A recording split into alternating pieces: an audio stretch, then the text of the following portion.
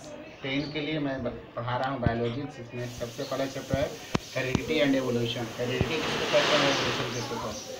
Heredity के बारे में जानेंगे। हेरिडिटी किसको कहते हैं? है it refers to the passing of characters heredity में जो होता है कैरेक्टर पास करता है पेरेंट्स ऑफ़ स्प्रिंग के बीच में, उसी को हम लोग कहते हैं हेरिडिटी दूसरा बात जानेंगे जीन जीन किसको कहते हैं?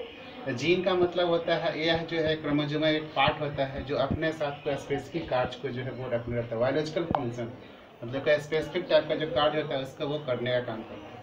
और तीसरा जाने क्रोमोजोम क्रोमोजोम किसको कहते हैं? तो यह जो होता है, एक थ्रेड लाइक स्ट्रक्चर होता है। जो कि सेल के न्यूक्लियस में जो होता है पाया जाता है। और ये अपने साथ जो होता है जेनेटिक मटेरियल को भी रखता रहता है। जेनेटिक मटेरियल मीन्स होता है डीएनए और आरएनए डीएनए मीन्स होता है डीऑक्सी राइबोन्यूक्लिक एसिड और आरएनए का मतलब राइबोन्यूक्लिक एसिड और पेरेंट का मतलब क्या होता है? माता पिता अपने माता पिता से जो है, उसके पुत्र में होता है। उसी चीज़ को हम लोग जो होता है हेरिडिटी हैं। धन्यवाद।